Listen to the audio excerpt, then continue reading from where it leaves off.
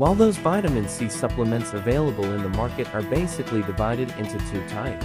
One is chemically synthesized ascorbic acid, which usually comes in a high dose, while another type is naturally extracted from fruits and vegetables. The vitamin C dosage is usually lower. However, it has better bioavailability than the chemically synthesized one.